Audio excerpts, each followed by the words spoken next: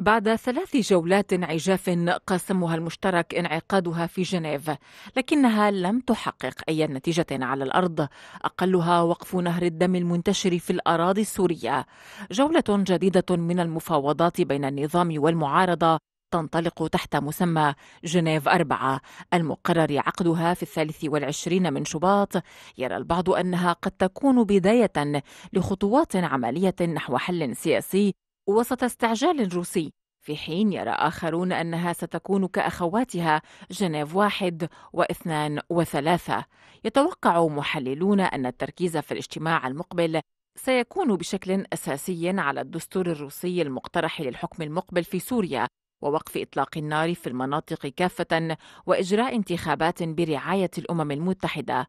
سبق الجولة المرتقبة اجتماع أستان اثنين الذي بدأ بتأجيل ليوم واحد نتيجة عدم وصول وفد فصائل المعارضة لأنه لم يتلقى دعوة رسمية من قبل الحكومة الكازاخية.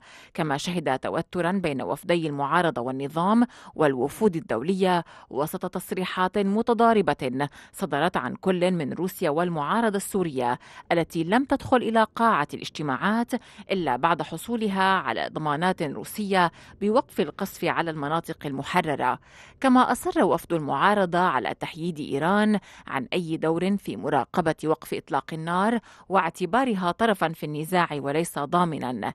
بالتزامن مع ذلك ربما وفي بادرة منها لإظهار جديتها للوصول إلى حل في سوريا أفرجت روسيا عن وثائق طرحتها في اجتماعات أستانا تضمنت خطة لتحديد الخطوط الفاصلة بين القوى المقاتلة في سوريا برقابة لجنة ثلاثية من روسيا وإيران وتركيا وتقوم آلية عمل اللجنة الثلاثية على تبادل المعلومات عن الخروقات بمساعدة من مراكز وقف إطلاق النار الوطنية في كل من البلدان الثلاثة ومركز العمليات التابع للأمم المتحدة في جنيف.